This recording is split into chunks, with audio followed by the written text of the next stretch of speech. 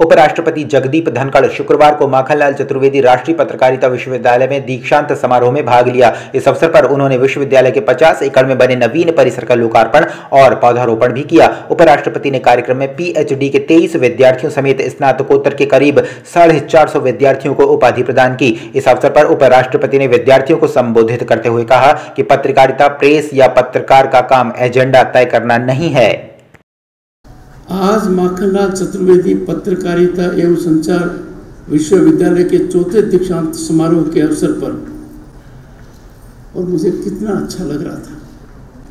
विश्वविद्यालय के मेधावी विद्यार्थियों, उनके विद्वान शिक्षकों, अभिभावकों के बीच में आ गए पर जो मैंने दुनिया में और देश में कहीं देखा नहीं, उसको देखकर मैं और भी अभिभूत हूँ।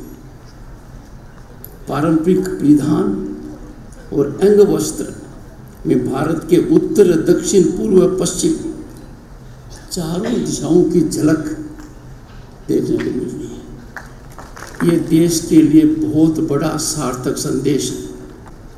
जून 2018 से दिसंबर 2022 साढ़े चार सौ विद्यार्थियों को जो उपाधियाँ प्रदान दी गई हैं, उनको, उनके शिक्षकों को उनके परिजनों को, उनके मित्रों को मैं बहुत बहुत बधाई देता हूँ।